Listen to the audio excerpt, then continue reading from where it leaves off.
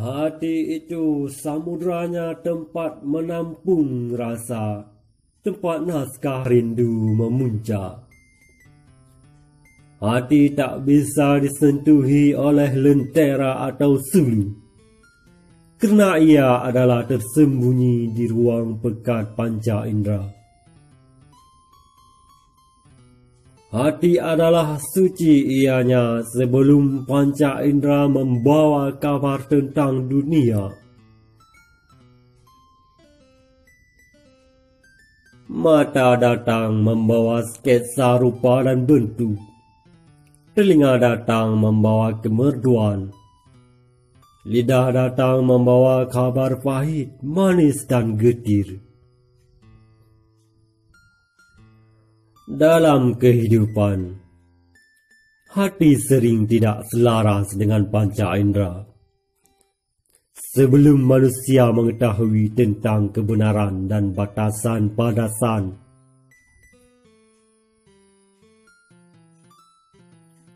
hati yang mudah ditundukkan oleh panca indera akan menderita di penghujung cintanya.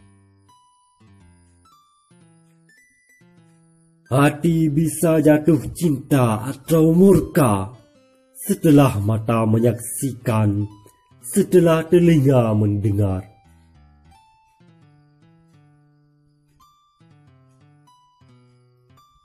Panca indera akan hilang fungsi di kesunyian saat tanpa cahaya dan warna.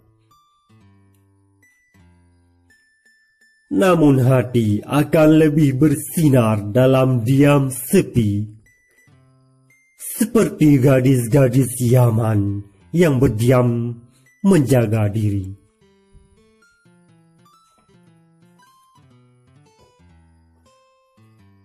Degorun jiwa hati akan meraba merasakan hakikat kekuatan abadi dari Tuhan. Yang azim.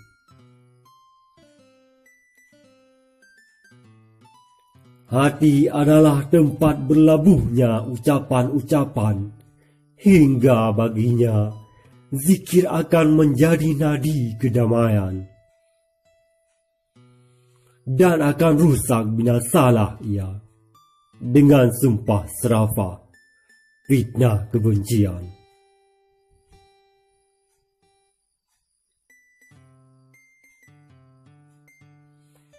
Cinta pada keindahan adalah hantaran amaran mata terhadap hati. Atau suara kemerduan yang disampaikan oleh telinga.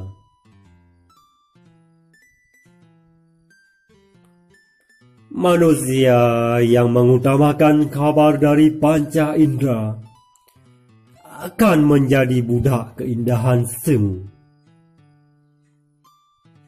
akan menilai baik buruk itu berdasarkan warna.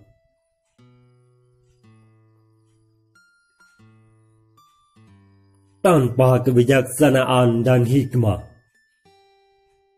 panca indera terkadang akan menipu hati untuk salah mencintai. Kekanglah tali cintamu sehingga pacunya tak kencang. Tak membuat engkau terjatuh.